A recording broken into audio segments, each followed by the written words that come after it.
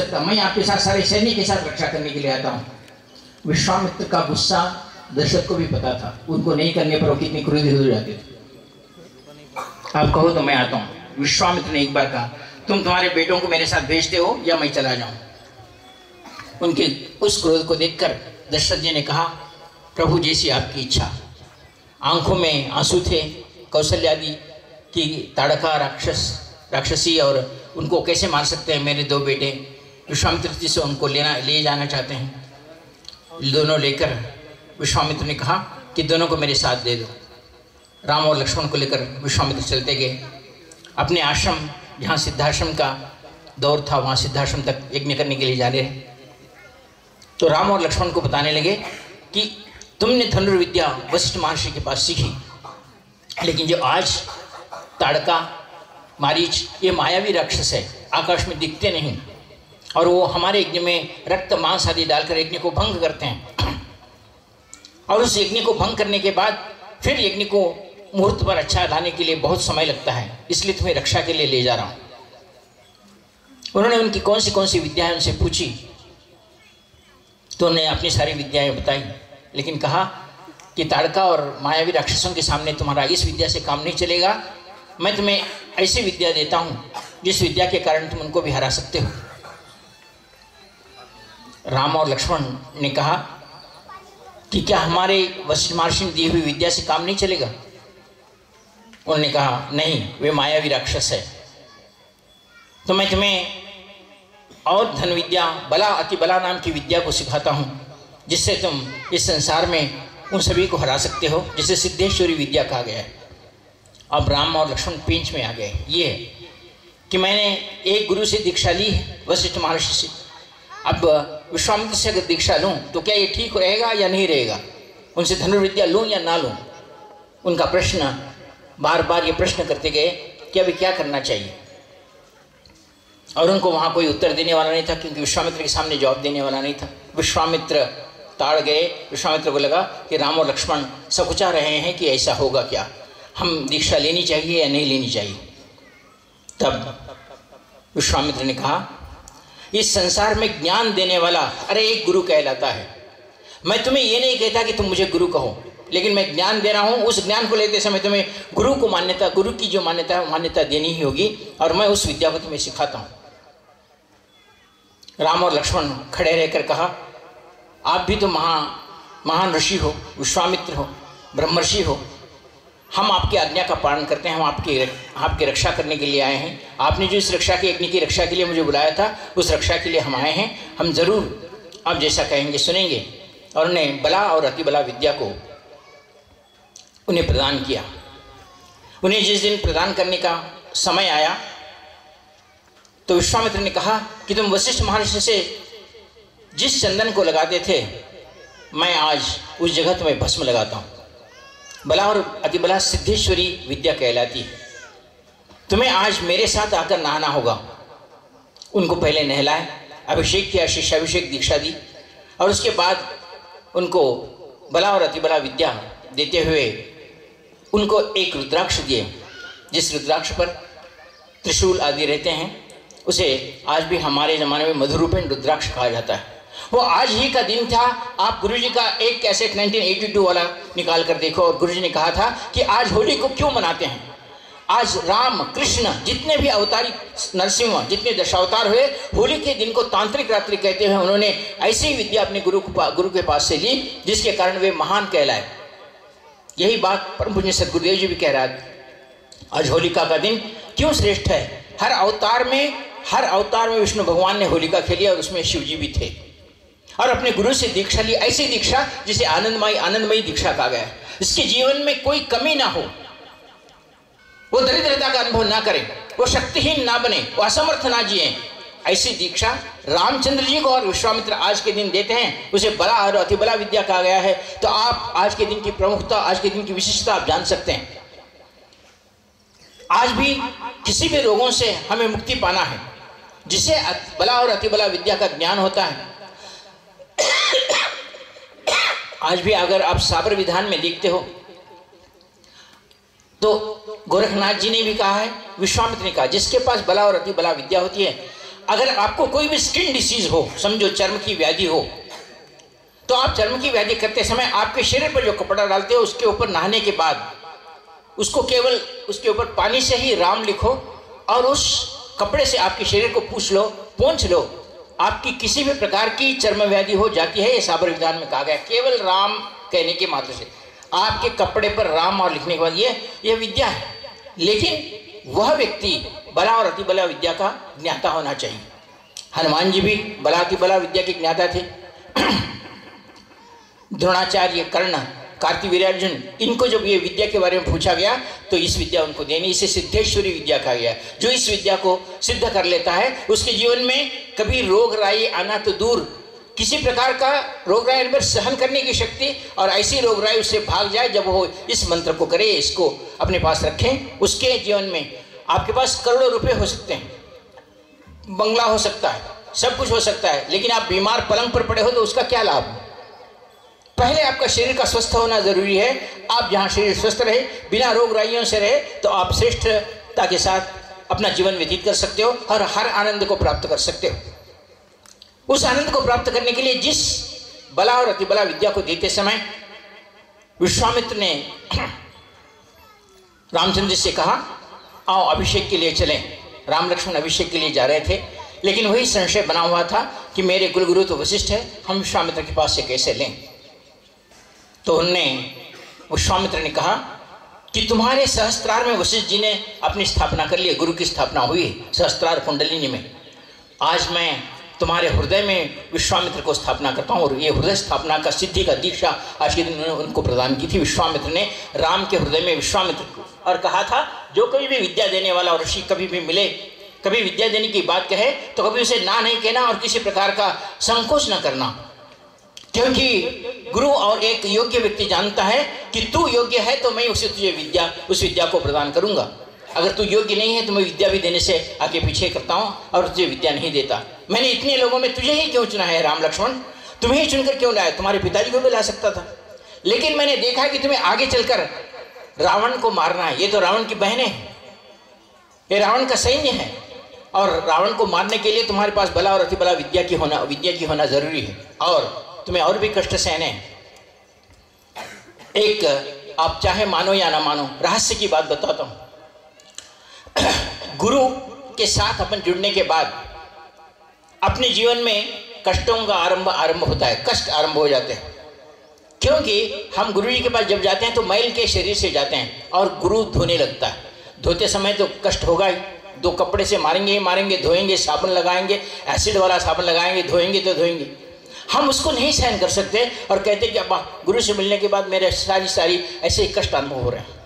लेकिन इस कष्टों का जो अनुभव करता है और जो कष्टों के अनुभव करते समय भी गुरु की प्रशंसा करता है, वो जीवन में सिद्ध कहला गया, वो कभी हारा नहीं।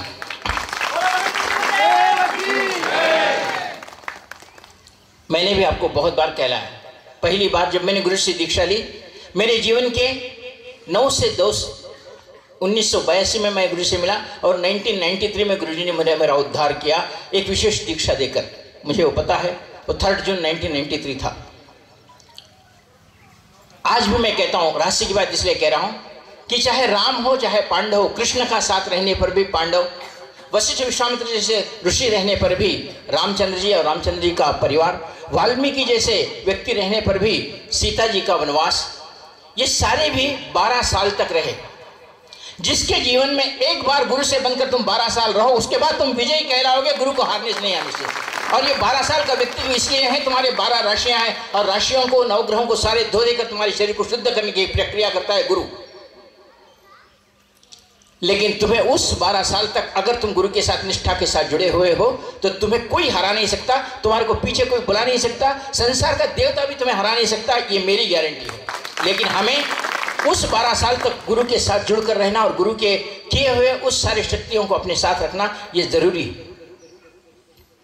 मैं आपको आज वही बला, अति बला विद्या जो गुरु जी ने कहा था कि गुरु की हृदय स्थापन दीक्षा, गुरु को हृदय में स्थापन कर हम सामर्थ्यवान बने। आज होली का वह श्रेष्ठ दिन है और कोकाडी को मैंने जिस दिन होली का क्षेत्र करा था तो उनसे पूछा था, क्या वहाँ पानी का इंतज़ाम है? कोकाडी बेचारे कितना ढूंढ पता नहीं, लेकिन उन्होंने ढूंढ के इस सिद्ध क्षेत्र को लाया और आज अभी भी कह रहे हैं कि अभी पानी स्वच्छ आ रहा है गुरु जी और मैं भी चाहता हूँ कि मेरे को अभी तक का इरादा नहीं था कि अभी कुछ दीक्षा दूँ सत्यनारायण पूजा करूँ, निकल जाऊँ, क्योंकि मुझे यवतमाल भी जाना है। लेकिन अब हुआ। चाहे मेरे कम पाँच ही पांडव क्यों ना हो, आप इतने ही शिष्य क्यों ना हो। मुझे, मैं आपको चाहता हूँ कि आप सिद्ध हो। आप आनंद अनुभव करें। ये जन्म, में सात जन्म तो गुरु को आप नहीं छोड़े। गुरु तो हाथ पकड़ा हुआ गुरु तो आपका साथ नहीं छोड़ेगा, लेकिन आप ही साथ छोड़कर भाग जाते हो। ये कहते हुए कि गुरु जी, मेरी बेटी की शादी है। गुरु जी, मैं बीमार हूँ। गुरु जी, पत्नी बुला रही है, पत्नी बीमार है। आपको गुरु को छोड़ने का बहाना चाहिए। गुरु तो हाथ पकड़ा हुआ है। और जब आप गुरु से भी महत्ता अपने पत्नी, अपने पैसा, अपना घर, अपने बेटे, अपने पौत्र, पुत्र को देते हो, तब गुरु कहता है कि यह और सिद्ध नहीं हुआ। जा, तू तेरे उनको देख कर आ जा। और तुम देख कर आने में यह जन्म नहीं चला जाता, फिर दूसरे जन्म में गुरु बुलाता है और दूसरा, गुरु जी कहते हैं कि मैं 25 जन्मों का साक्षी हूँ। परम पुण्य स्वामी सदगुरुदेव निखिलेश स्वामी जी कहते थे, मैं 25 जन्मों का साक्षी और 25 जन्मों से तुम्हें पुकारता हूँ और तुम हर बार मेरा हाथ छोड़कर जाते हो। ऐसी क्रिया नहीं करना, ऐसी क्रिया करने के लिए हमारे में क्या शक्ति चाहिए? हमारे में, हमारे हृदय में गुरु की स्थापना होनी चाहिए। हमारे हमारे में एक ऐसी चीज़ होनी चाहिए कि हम गुरु को कभी नहीं छोड़े और जिसने गुरु को नहीं छोड़ा, वह इस संसार में विजयी हुआ। ऐसा कोई व्यक्ति तो नहीं है जिसके जीवन में गुरु ना हो। और गुरु के बिना किसी का उद्धार हो, चाहे वो अलेक्जेंडर क्यों ना हो, उसका भी अर्कमिडिस नाम का गुरु था।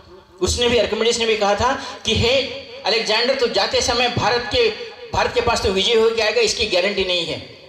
अलेक्जेंडर ने कहा था क्यों भी? क्यों नहीं विजयी हो सकता? मैंने इतना विजय किया है। तुझे भारत से लौटना होगा।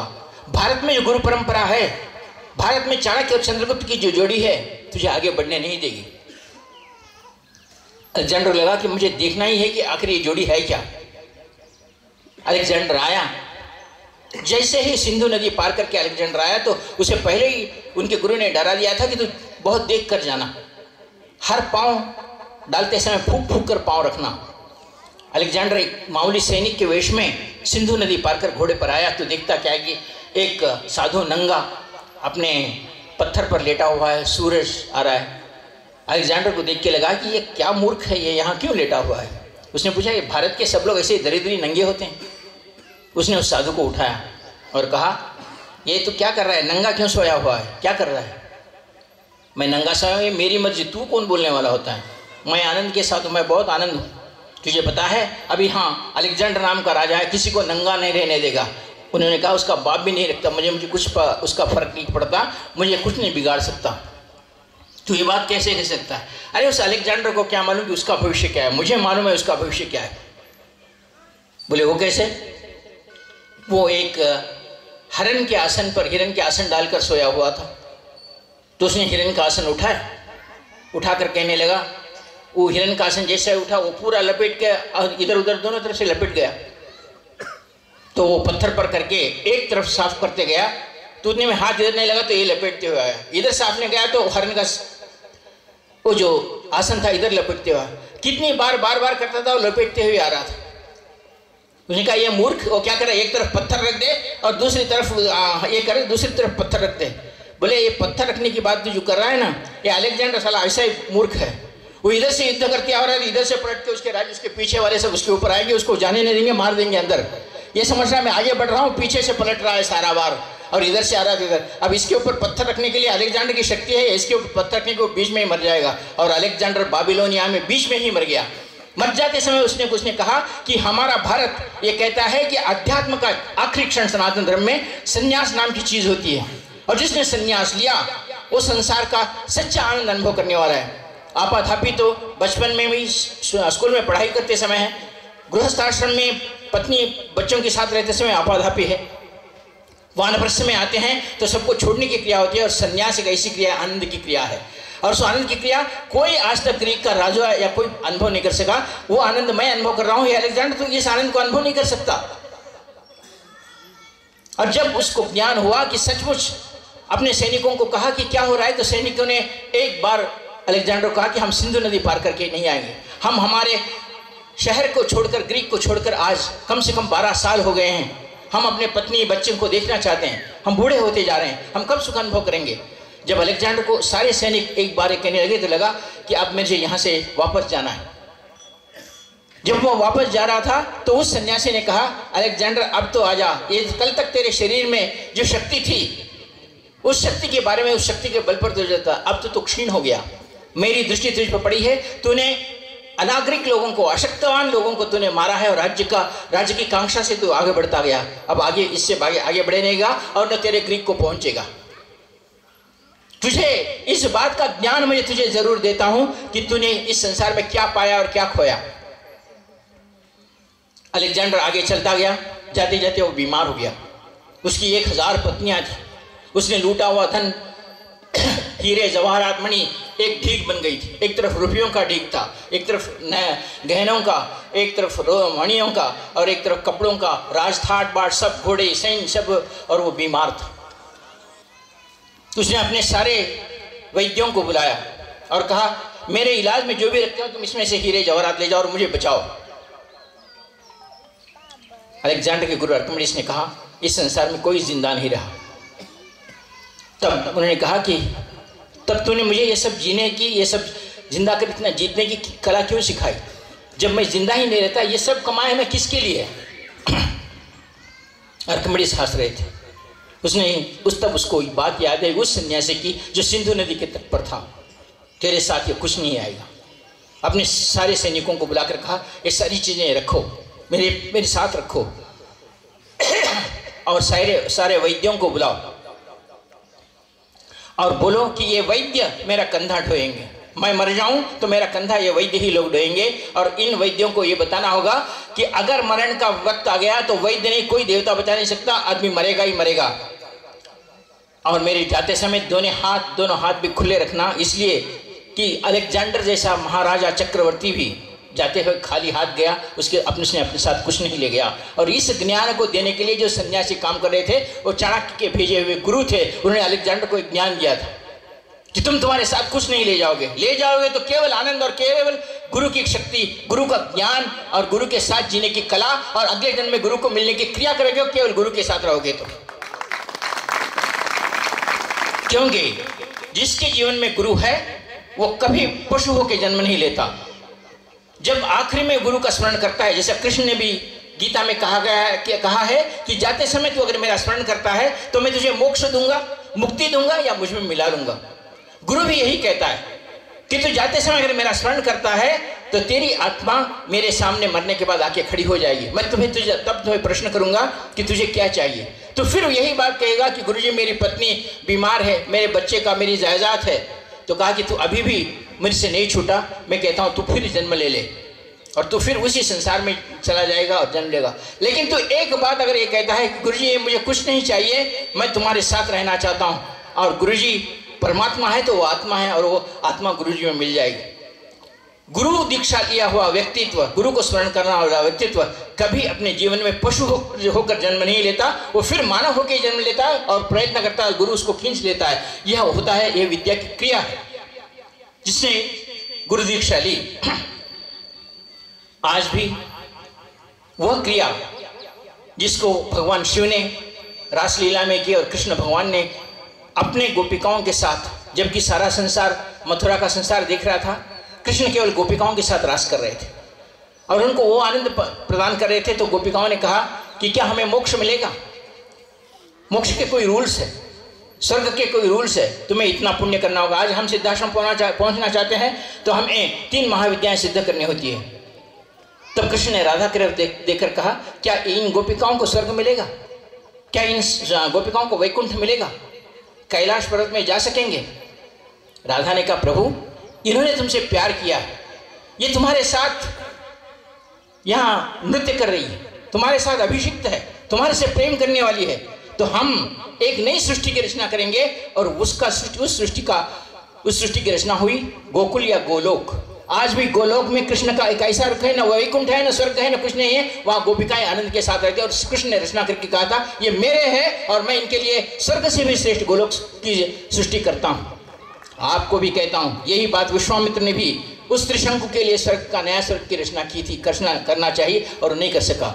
लेकिन अगर आप गुरु के साथ जुड़े हुए हैं तो आपको गुरु कभी नरक में नहीं जाने देगा, आपको अपने साथ ले जाएगा जहाँ वहाँ है और वो जन्म लेगा तो तुम भी जन्म लोगे।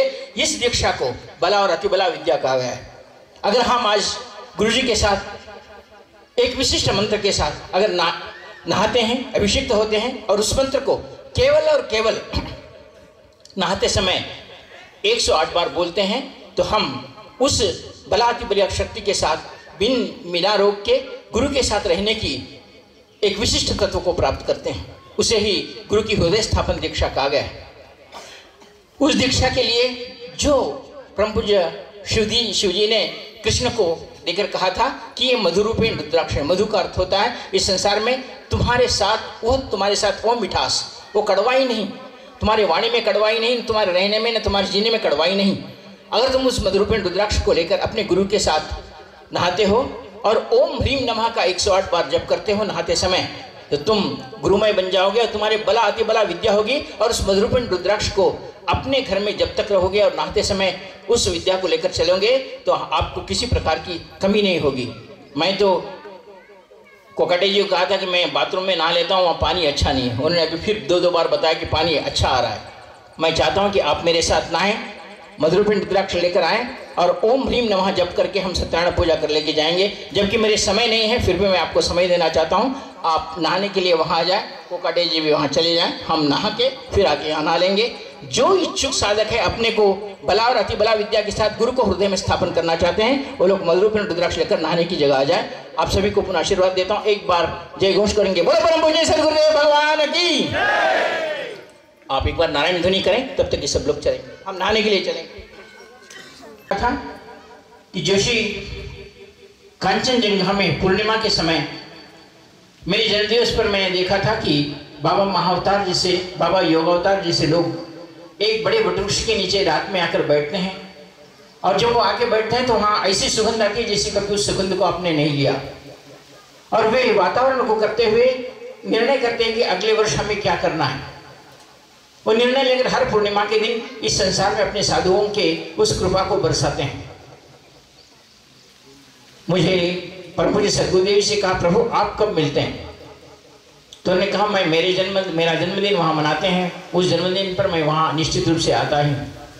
प्रभु, आप दिखे या न दिखे, हमारे सारे साधकों की इच्छा है कि आपका दर्शन हमें हो और हम कांचनजंगा पधारें।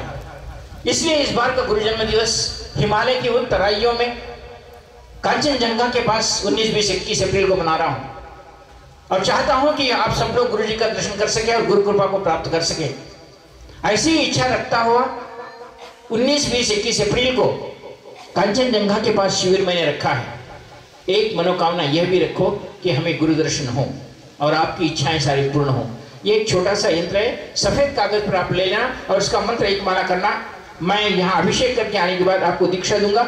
आपको मुझे शंका समाधान में कुछ पूछने की ज़रूरत नहीं है। आप जो भी इच्छा, जो भी शंका है, आप वो मनोकामना पूर्ण होने के लिए बोल। लो जैसे वैसे तो चाहता हूँ कि कोई नहीं पूछा कि मुझे आज तक प्रभु मेरे को दशमा विद्या की सिद्धि दे दो या मेरे को कोई भगवान का दर्शन दे दो हर एक आदमी ये पूछता है, मेरा व्यापार नहीं चल रहा है, मेरे को संतान नहीं हुआ, मेरी बीवी सताती है, मेरा बेटा सताता है, मेरा व्यापार होना चाहिए। और इसके लिए उतने बड़ी बड़ी साधनाएँ करने की कोई ज़रूरत नहीं है। ये एक साधना, आपको व्यापार चलना हो, आपकी बेटी की शादी नहीं हो रही हो, ऐसी जितने भी मनोकामनाएँ हैं, आप बोलकर इसके ऊपर मनोकामना लिख लो। अब मेरे पास तो ऐसे ऐसे लोग हैं, ज़मीन बेचने के लिए भी तो गुरु चाहिए। गुरु मेरी ज़मीन नहीं बिक रही, अब गुरु क्या करें? ज़मीन तो आपको बेचने के लिए नहीं आता। आप गुरु गुरु बेटी को बहुत ज़्यादा देख रहे हैं शादी नहीं जम रही। गुरु क्या करना चाहिए? बेटी को ढूंढ के लाना चाहिए। गुरु जी संतान नहीं हुई है। गुरु क्या करना चाहिए? देखना चाहिए, दीक्षा देता हूँ, ले ले। उनको तृप्ति तब तक नहीं होती जब तक गुरु कुछ नहीं कहता कि हाँ बेटा तुम्हें पुत्र होगा ही होगा। और गलती से उनके कहने पर नहीं हुआ तो गुरु जी के जान पर बढ़ जाए। गुरु जी, आपने कहा पुत्र नहीं हुआ। वो कुछ कार्य नहीं करेगा। पुत्र होने के लिए गुरु जी को मांगेगा ही मांगेगा। व्यापार वृद्धि के बारे में। व्यापार गुरु जी मैंने व्यापार लगाया आपके कहने पर व्यापार नहीं चल रहा है। अब गुरु जी अगर गले पर बैठे? अरे प्रयत्न करते गुरु भी तो कर, कर काम कर रहा है। इस तरह आपके प्रश्न कैसे होते हैं कि इन प्रश्नों को? गुरु जी सर बहुत दर्द है। अब क्या गुरु सर दबाएगा वो भी तो गोली खाता है। तुम गोली खाए तो सर तो कम हो जाता है। नहीं नहीं वो कहेंगे गुरु जी आप एक बार सर को पकड़ लो हमारे। यहाँ तक मेरे शिष्य हैं। वो फ़ोन पे बात करेंगे रात के बारह बजे। क्या? जी मेरी बच्ची बहुत रो रही है। अरे रो रही है, तेरे गाँव में तो बैठा है, बच्ची रो रही है तो मैं यहाँ से क्या करूँ? नहीं गुरु आप कुछ करो, बच्ची को रोना। आप बच्ची को रोने के लिए भी गुरु जी को उपयोग करते हैं तो आप अध्यात्म में गुरु जी को कब उपयोग करेंगे? ऐसा होता ही हो ही नहीं। ऐसी चीज़ें मेरे पास आती और मुझे दुख यह होता है कि मैं आखिर में एक व्यावहारिक गुरु बन गया हूँ। अध्यात्म इसमें आपको कुछ नहीं चाहिए। और आपके शंका समाधानों में मैं हर बार सुनते हुए, हज़ार बार यही बातें सुनते हुए आता हूँ। कि बेटी की शादी घर में नहीं चल रहा है, पैसा नहीं टिक रहा है, पैसा नहीं आ रहा है। आप आज आज ही नहीं, कोई भी पूर्णिमा को इस यंत्र को आप उतार कर एक माला जप करने के बाद इसे कोई इस कागज़ को बहते नदी में छोड़ दो। आपकी जो भी इच्छा, चालीस दिन के अंदर पूर्ण होगी। ऐसी साधना जो आपको अपने घर बैठकर कर सकते हैं, ऐसी साधना आज दे रहा हूँ और ये साधना पूर्ण होने के बाद मैं आपको दीक्षा दूँगा। आपकी जो भी इच्छा है वो बोल लो। अभी इस पेपर का एक विधान को कटेली आपको समझाएँगे छोटा सा यंत्र है बना लेना और नीचे एक मंत्र है उसकी एक माला करना मंत्र का मंत्र इस प्रकार है ओम ह्रीम मानस सिद्धि करी ह्रीम ओम नमः आप शंका समाधान पूछने से पहले आपकी इच्छा जो भी बोल लो या उस पेपर पर आपकी शंका आपकी इच्छा लिख लो और मेरे पास दीक्षा ले लो आपकी इच्छा पूर्ण हो जाएगी मैं आशीर्वाद देता हूँ कि आप इसके बाद मुझे शंका समाधान के लिए रोकेंगे नहीं और आपका काम पूर्ण हो जाएगा आशीर्वाद देता हूँ बोलो बोलो बोलिए सदगुरुदेव भगवान की को काटे आगे का कर